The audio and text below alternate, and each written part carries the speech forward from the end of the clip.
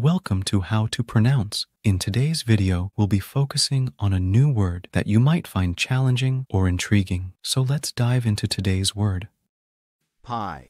which means A baked dish with a pastry crust and various fillings. let's say it all together. Pie. Pie. Pie. One more time. Pie. Pie. Pie. Thank you for joining us on this adventure in pronunciation. Remember, language is a journey, not a destination. Keep exploring, experimenting, and expanding your linguistic horizons. We'll see you next time.